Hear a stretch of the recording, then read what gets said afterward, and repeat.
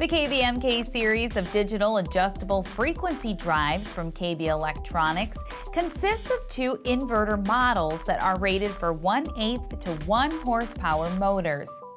This series is housed in NEMA 1 IP50 aluminum enclosures.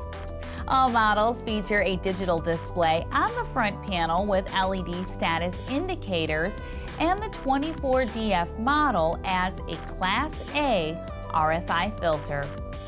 This drive is economical to use and eliminates the need for a secondary enclosure.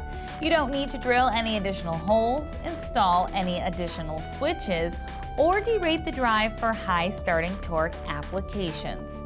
Additionally, KBMK combines soft start with variable speed and features an adjustable soft start. For more information, please visit galco.com.